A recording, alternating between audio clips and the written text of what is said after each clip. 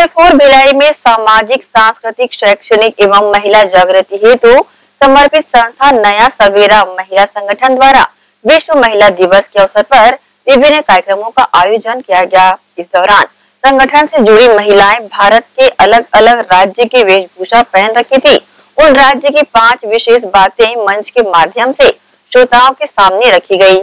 इस दौरान कार्यक्रम की अध्यक्षता मौसमी कमल टंडन और S T S C SAIL federation के अध्यक्ष सुनील राम टेके भी मौजूद रहे जिन्होंने पूरे कार्यक्रम को लेकर अपनी प्रतिक्रिया दी। जैसा कि सुनील सर का इतना बड़ा सहयोग रहा है हमारे इस नया सवेरा संस्था के लिए जो कि सांस्कृतिक सा, सामाजिक और शैक्षणिक महिला जन जागृति के लिए ये संस्था समर्पित है।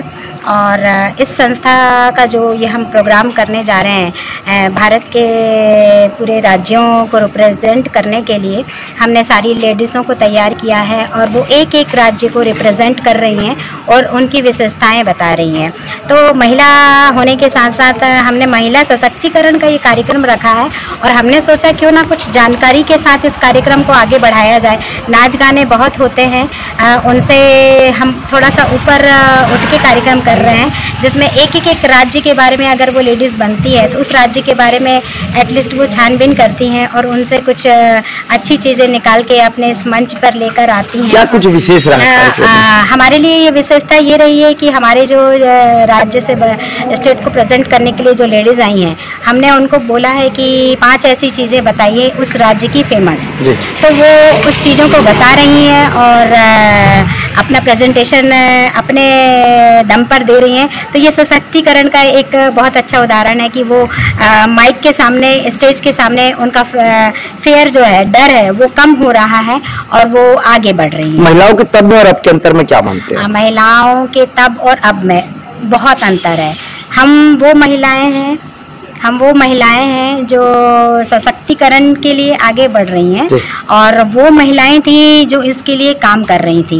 तो उनके मार्गदर्शन से हम ये काम कर पा रहे हैं। आ, मैं मौसमी कमल टंडन नया सवेरा संस्था की अध्यक्ष। ऐसा है कि आज यहाँ फेडरेशन कार्यालय में नया सवेरा के तत्वाधान में राज्य स्तरीय महिलाओं का और इस महिलाओं के सम्मेलन हम हर 26 राज्य के महिलाओं को प्रोटेक्ट करना चाहते हैं आगे बढ़ाना चाहते हैं। और इस पूरे आयोजन की जो समिति के अध्यक्ष है मैडम मौसमी टंडन जी के नेतृत्व में कार्यक्रम हो रहा है। और मैं चाहता हूँ कि आने वाले समय में ये कार्यक्रम मील का पत्थर साबित होगा आने वाले भविष्य में एक इतिहास रचेगा। धन्यवाद। मैं सुनील राम टिके राष्ट्रीय सर, एक प्रश्न महिला सशक्तिकरण पर क्या कहना चाहिए? महिला सशक्तिकरण की सारी महिलाएँ हमारे यहाँ आई हुई है।